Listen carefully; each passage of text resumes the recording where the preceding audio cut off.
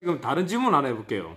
예, 우리가 예. 진돗개를 키우는 사람들은 네. 공통적으로 하는 말이 뭐냐면 그 꼭 진돗개만 키우는 게 아니고 옛날 사람들을 만나면요 예. 참 답답한 게 있습니다. 제 입장에서는 그러니까 진돗개를 키우는 사람이든 아니면 사냥을 하는 사람이든 예. 옛날 사람이든 요즘 사람이든 오면 자기가 개에 자신이 있다는 사람들 있잖아요. 예. 자신 있다는 사람들 오면 무슨 이야기를 많이 하냐면 개 눈하고 똥구멍을 많이 봅니다. 예. 예. 예. 눈하고. 똥구멍을. 예. 예. 옛날에 있죠. 예. 근데 똥구멍이 큰 개가 이 예. 대담하다고 그래요. 예. 예. 예. 예. 제가 얼마 전에도 예. 근데 썼었고. 예. 제, 제가 참 황당한 거는 뭐냐면 예. 개라는 걸 우리가 딱 보면 눈하고 엉덩이 꼬- 똥구멍만 보이는 게 아니고 예. 전부 다, 다 보이잖아요. 예. 예. 외모도 체형도 전부 다 보이고 털도 다 보이고 기질까지도 외모에서 드러나잖아요. 예. 읽어내죠. 예. 우리가 읽어내지 않으려고 해도 개를 만지는 사람들은 개를 관찰하고 보면은 그게 묻어 나오잖아요, 개한테서. 그렇죠. 예. 그리고 그러게 있다가 또 차가 한 대 지나가거나 뭐가 다른 상황이 생길 때마다 또 그 모습들이, 다른 모습들이, 숨어 있는 모습들이 보이잖아요. 그렇죠. 예. 근데 왜 그런 걸 무시하고 자꾸 눈하고 똥구멍만 보냐 이거죠. 예. 예. 전체를 안 보고. 그건 이제 저거죠. 시- 어, 저는 그렇게 생각하는데 내가 한번 그런 글을 올렸다가 한번 말싸움이 벌어졌던 적이 있었는데 뭐냐면 옛날 사람들은 개를 볼줄 모르는 똥구멍 큰 놈. 그걸 골라와라. 아니, 관상을 보면, 이제 예를 들어서요, 관상쟁이한테 가면 얼굴을 다 보고 하는 관상하고 눈하고 똥구멍 보여주는 관상하고 얼굴을 다 보는 게 네. 더 관상을 잘 볼 수 있고 또 대화도 나눠보고 하면 더 잘 알 수가 있잖아요, 그 사람에 대해서.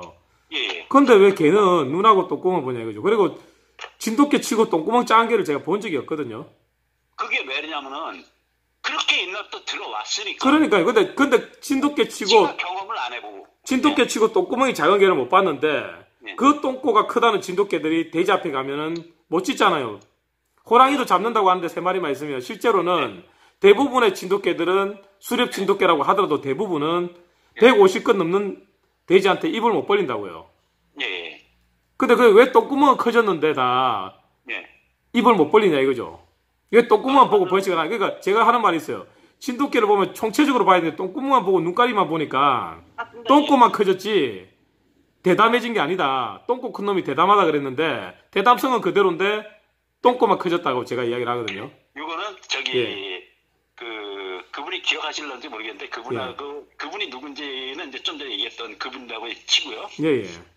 그 내가 대놓고 말싸움이 걸었을 때 뭐랬냐면 내가 그 얘기를 했어요. 그렇게 개를 잘 보면 예. 우리 이렇게 한번 해보자. 개를 100m 밖에다 세워놓고 예, 예. 열 마리를 세워놓고 온갖 개를 다 섞어놓고 예. 진돗개 진돗개 치거는 새끼인가들요. 예, 예. 열 마리를 섞어놓고 열 마리를 100m 밖에서 뽑아내보자. 그리고 네. 50m 줄이고 10m 줄이고 누가 더 정확하게 뽑아내는지 한번 봅시다. 예, 예. 왜냐면 그거는 우리 저기 부리더님이 더 잘하실 거네요. 예. 경험이 많은 사람들, 물론 그 사람은 나보다 더 많은 경험을 했지만 예. 경험이 많다고만 중요한 게 아니고 눈썰미잖아요, 그거는. 그렇죠. 예.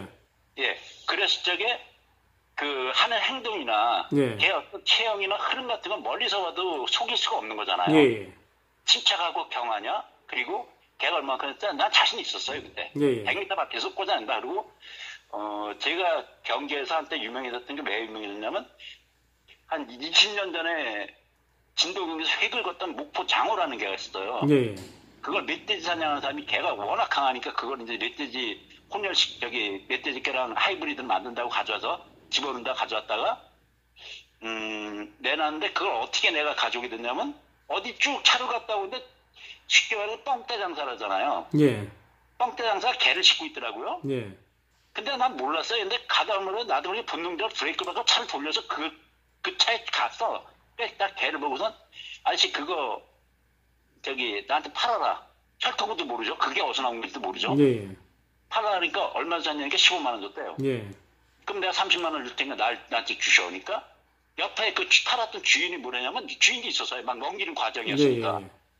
아니 내가 내가 팔았는데 뭔 얘기를 아, 당신 이미 돈 건넸으면 끝난 거지 뭘 말하니까 아이 뭐래도 그럼 당신한테도 15만 원 줄게 그래가지고 전부 다 해서 45만 원에 내가 저 그게 인출을 했어요 예. 그러면서 근데 은하 얼마나 나이가 거의 10, 10 내가 볼때 14년은 된 것 같아 예. 애가 얼마나 칸칸한지 손을 못 대겠더라고 음. 근데 그때는 내가 항상 뭐 우리 불리던도 마찬가지지만 캔넷박스 싣고 다녔으니까 예. 예. 캔넷박스까지만 실어 다오 예. 그래서 그 사람이 먼저 주인이 자기가 이제 장사는 이제 목줄 이렇게 해가지고 뭐 어떻게 누르려고 막 그랬던 쇼를 하던 과정에 그 사람이 안 와서 캔넷박스에 놓아줬어요. 예. 그리고 딱 닫고 알았다 이제 가겠다 했더니 이 사람이 뭐냐면 장호야 잘 가. 아마 경기에 오래 분들 장, 목포 장호라는 게 나을 거예요. 예, 예. 장호야 잘 가라 그러더라고요. 그래서 내가 딱 내려서 다시 보면 장호? 이게 다 혹시 어디서 왔냐니까 목포에서 왔대요. 예. 목포 장호야? 확실하니까 그렇대. 음. 그걸 어떻게 믿냐니까 그래서 선배들한테 그대로 전화를 받죠. 목포 예. 장호 어디니까 뭐 서울 쪽으로 갔다 뭐 어디를 갔다 어디 갔다 경기도 쪽으로 올라왔다 그러더라. 양평 쪽에서 내가 그걸 가져왔거든요. 예, 예. 그러니까 목포 장호 맞으니까 맞대요. 음. 생명을 딱 봐도 다시 보니까 그게가 맞아. 예, 예. 그래서 가져와서 선배들한테 전화했더니 그걸 당장 갖고 내려가지고 그 선배한테 뺏겼어요 그. 예, 예. 그러면 그게 내가 그게 할 통도 모르고 아무것도 모르잖아. 지나가다 네. 그냥 차를 제가 돌아왔잖아요. 개 자체만 본 거잖아요. 예. 그러니까 선배들이 뭐냐면 야 저 새끼 어떻게 지나가다 차에서 한, 몇- 한 200m 넘게 떨어진 데서 개를 보고서 그걸 쫓아들어가서 그 40만 원에 저런 개를 뽑아내오냐? 그거는 어떻게 보면 그때 내 진돗개 진짜 미쳐있을 때거든요. 그렇죠. 예.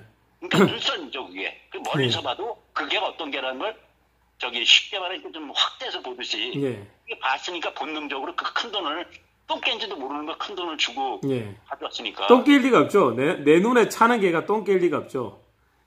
예, 그래서 예.